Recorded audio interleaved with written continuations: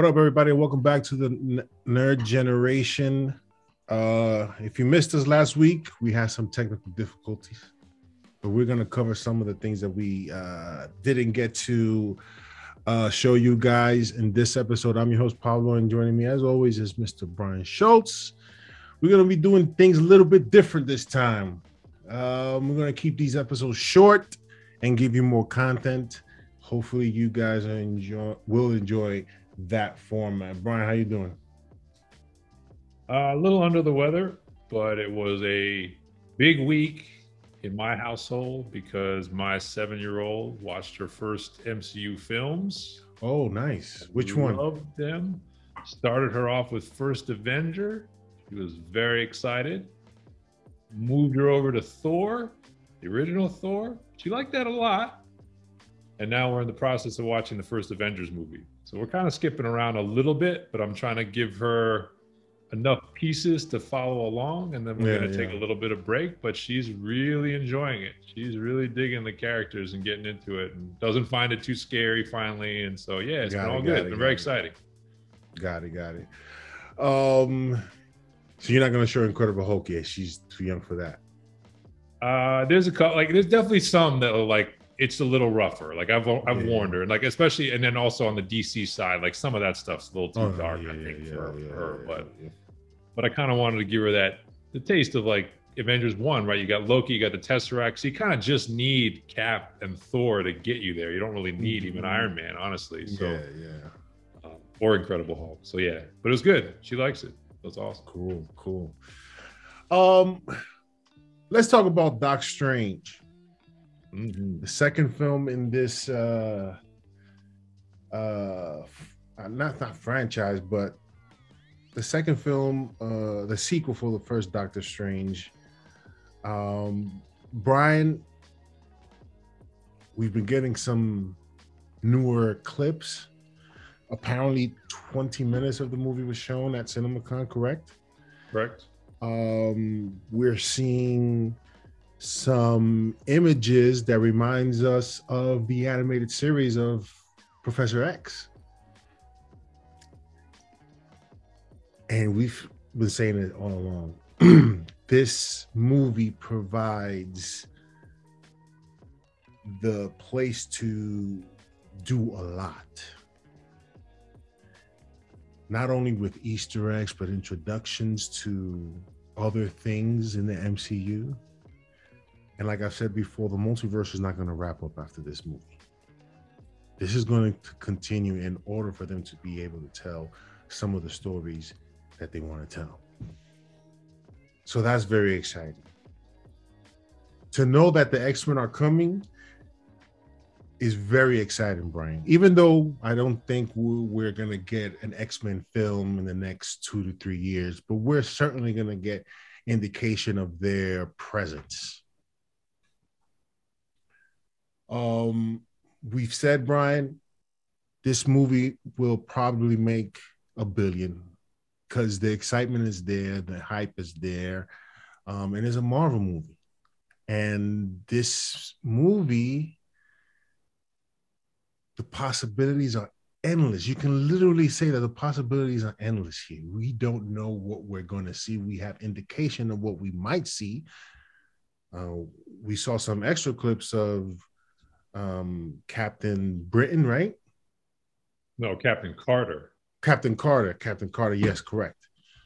So we're going to be seeing things here and there, Brian, that are, are, are certainly got me hyped. What are your thoughts on on the Doctor Strange two film? What we're going to be seeing, the excitement surrounding it, um, and your final predictions on the sort of box you think it'll reach. So hot take. I'm nervous, and my gut is this film is going to disappoint a little bit. I say it's going to be bad, but I feel like the combination of the cameo hype fest and all of the things that this multiversal potential has created I think makes the bar almost impossible for this movie to massively exceed your expectation. For lack of a better phrase, is a little bit of the Mephisto and WandaVision feeling of like, it's like that thing built to where like when Mephisto didn't show and there was no Reed Richards, it was like people felt like it was a letdown, even though the show was pretty good. Kind of how I feel about this movie a little bit now. I'm nervous. Like I'm actually nervous. I'm, I'm like I'm hyped, but I'm nervous. Let me ask you this: Do you feel similar feelings of that nervousness that you feel now towards No Way Home? Is it similar? The is the concern the same? in a weird so in a weird way i feel more nervous um and the only reason i say that is because i felt like with no way home we we both raised a number of concerns but we also knew beyond a shadow of a doubt that the spider-men were in there and charlie cox were in there we knew they were in there Mm. And I think we knew they were in there more than just one scene. So there was a little bit of an anchor of, I don't know if they're going to pull this off, but my expectations were a little bit lower, to be quite honest. And the certainty was a little bit higher. Okay. I also didn't feel like, I don't know, weirdly, I didn't feel like the stakes were quite as high. I know it was the culmination of the trilogy, but I feel like this movie, because it is the launch point for theatrical multiversal storytelling for Marvel, a big one. It's one of the bigger films they put out there in terms of they need to they need to stick the landing, I think, for people to really buy into some of the things they're hoping to do down the road. And I don't know, I, am I'm, I'm just nervous. And like the, the degree of reshoots, the director changed, like that stuff doesn't mean a film is going to be bad, but it feels like a lot has changed between point A and point B. I just don't know if this thing is going to quite get to the heights that I feel like people's expectations have gotten to. Um, so you you you mentioned CinemaCon. So what we heard was 20 minutes. They basically showed the first the opening of the film uninterrupted which by okay. all accounts is an intro to America Chavez's character alongside Stephen Strange. I don't want to spoil more than that. From you can read it if you want, but that's kind of mm-hmm. what's. And then they ended it with a kind of new mini trailer of highlights and quick cuts, which showed a little bit more of some of the things that have been teased. Uh, that also coincided with something I know you want to talk about, which is in the TV ad campaign. They flat out just gave away Illuminati and showed straight up certain things of characters who presumably are in the Illuminati or in the multiverse. Um, so they're definitely revealing quite a bit ahead of this film coming out. I haven't heard anything that said the, people's reactions to the 15 or 20 minutes was bad, but like I said, I, I don't know. Like if this thing is 85% fresh and the critic scores are like three and a half to four stars, like is that good enough for you for what this thing needs to be? It is quite peculiar that after a movie that has been that's beyond the shadow of doubt, this movie has a lot of hype behind it and they've done a good job of keeping things on ice, right? Not not revealing too much.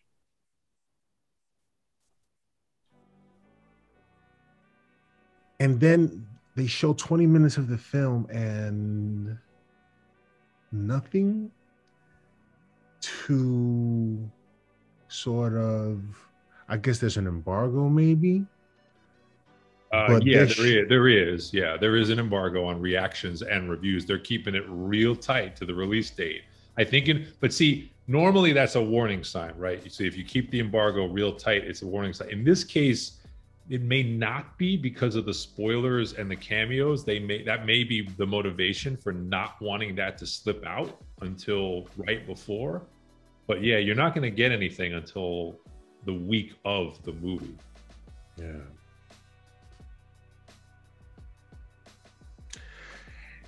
It can go either way. One way is that they're they're they're really setting us up for um, something magnificent and playing it so close and actually us going in there were concerns similar to how we went in with no way home and then be pleasantly surprised. Or the movie's bad right? Those are the only i guess i with marvel movies i don't want a so-so movie. I want a good movie. Especially Decent, for this one. Yeah especially for things like this it's it's uh I have high hopes. Um the director switch, we weren't too far into the film for it to be, I don't think, that much of a problem. And the reshoot seems to be something that they do often. And that is to, you know, be sure that they're in line with what with other stuff that they're doing. So I think that's just the Marvel way at this point. So there's certainly concerns, but I, I am I feel some sort of confidence that um, they're they're gonna do it again. Okay. I think I also feel compelled to point out, and it's sort of I haven't seen this written, and maybe it's sacrilegious. Which Sam Raimi did Marvel get? did they get the Sam Raimi that directed Spider Man and Spider Man 2 and Evil Dead, you know, 20 some odd years ago? Mm-hmm. Or did they get the Sam Raimi that did Spider Man 3 and Oz the Great and Powerful more recently? Because I, I, you know, to call a spade a spade, he's had some incredible highs, but he's also had some disappointments more recently. Let me so ask this. He still has the fastball because yeah, he's going to yeah, need yeah. the fastball for this movie. Yeah. Um, we need uh what's the dude's name from Major League? Ricky Vaughn. We need the original Ricky Vaughn. no doubt. Wild no thing. doubt. No doubt. Um it was the Oz films under Sony or with others? Or with another uh, studio? Others, other studio. I, I want to say was it Disney or Universal? I can't remember who, who he did it with, but that was a big budget flop in 2013 or 14. But this is his highest profile project, you know, with that kind of budget, probably since that time. You think it was something that he wanted to do, or they were just giving him a good amount of money to do it? Oz? Yeah. I don't know the backstory to that movie, so. Because why would why would you want? I mean, listen, nah, I wouldn't want to do Oz. Like, why would you find passion to do Oz? Like, nah. For some people, whatever, but no. Um, and Spider-Man 3, he lost a little bit of control. I can't put it all on him. It wasn't like do your thing, Sam. It's like, what we doing? I want to be at the table when you're making these decisions. So let's see, man. Let's see. Um, it's going to be very, very interesting. Oh, box office, I think is a lock. I mean, so I feel like that's all of this discussion, and I have a couple questions for you. But you know, ticket sales have been exceeding that of the Batman. It's early in the summer. You know, people have just gotten through a month of disappointment. Morbius, Fantastic Beasts. Um, the Bad Guys, pretty good for kids. Good animated film. Recommend you go see it if you like that sort of thing. But um, you know, even like Michael Bay's Ambulance, nobody went to see it. Supposedly it was good. Nobody went to see it. People are waiting. They're waiting to go to this movie. Um, so you're going to get 150 to 200 million dollars. I think no problem. Domestic box office opening weekend.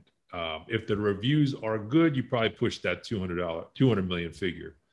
Um, if you start to get the hype train on, oh, you got to see it because mm-hmm. Tom Cruise is Iron Man, like that sort of stuff starts to leak out on Thursday and Friday. You might see bigger numbers on Saturday and Sunday. That's kind of how this works, right? Whether yeah. whether or not the movie's good, that opening weekend is kind of is sealed. Yeah. Um, I still think you're. I'm with you. I still think it's got billion dollar potential. You know, even with China being TBD, I still think it can get there. Um, but you know, if it's if it's just okay, then that's going to be a little more in question. So that's the one caveat, right? It's like if it's if it's just all right, then then you might have a much bigger opening weekend, and maybe the billion it gets a little tougher. Maybe you're more 850, 900, something like that. Um, I wanted to ask you this dropping the Illuminati in a TV spot and straight out saying it. Do you have a problem with them doing that? Not really. Okay. I think there's more to this film than just the Illuminati. I think the Illuminati is an opportunity to introduce some characters there. Mm-hmm if you want to go ahead and say who you think the Illuminati will be, go right ahead. For for me, I think we're gonna probably see a version of Reed Richards, perhaps a T'Challa, perhaps a Black Bolt. You know, the, the opportunity is there to introduce these characters, even though even if they don't do anything with them for the next few years, but to show them, I think is a huge moment to sort of gauge where in what direction they go, what story they tell. How geeked out were you to see Professor X got his yellow wheelchair back? What it reminded me of, Brian, you still haven't done it, possibly seen the last episode of X Men, the animated series. I haven't gone back to the last episode, no, but you I know that's gotta watch okay. it. Watch it because we don't know which Professor X, if it's because it seems to be based on what they showed. It's it's like classic, you know. But the way that show ended up off, who knows if this is the same Charles Xavier and there's this whole middle piece that we'll probably see in the animated series of how they they get to him. But um that's what I thought of thought about immediately. Um, these guys, the the comic book accuracy that they're trying to go for for this is, is really exciting to see to see if they can pull it off. Um, I think that's one of the most more intriguing things for me. Um, which and they they've, they've done a successful job with a lot of the characters. Um, so what What were your thoughts when you saw when you when you yeah, saw it? Did you have I was excited. I was excited. I, I, you know, I was a little. I'm always a little disappointed. I feel like with movies like this, the less you say, the better. But I realize in this day and age in Hollywood, there's always this obsession with we got to make sure we get your money, and so if that means we have to spoil some stuff, we spoil some stuff. I mean, I look. I mean, I think even dating back to the previous trailer where we heard Patrick Stewart's voice, we knew this was the direction um, I just I don't know that I needed to hear Baron Mordo say the word yeah. like ahead of the movie, but yeah. and I think they you know they show you a quick shot of Captain Carter throwing her shield. Like I don't know that I needed to see that like right now, but um, you know I'm I'm all right with that. My my one my one prediction as I've thought more and more about this movie. I predict Elizabeth Olsen will be the real star of this film. I think she's going to upstage Benedict Cumberbatch. I feel like Marvel has been on this good run of strengthening their female character lineup, and they've been writing them really well with you know the Black Widow handoff and even Wanda's own arc in WandaVision. Um, I think the Kate Bishop angle in Hawkeye. Like I and obviously I think America Chavez has the opportunity to kind of join that lineup, but I just have this feeling that like you're gonna if Elizabeth Olsen is allowed to kind of flex as both a hero and potentially the big bad of this movie, if she's gonna break bad in this movie, yeah, I think that has the opportunity to be the most exciting character, even relative to Strange Supreme and Doc Strange. That's just my feeling. My feeling is that that that her performance is going to be the defining one. I don't know what you think about that. It's quite possible because um, she is perhaps the biggest threat in the MCU. Um, so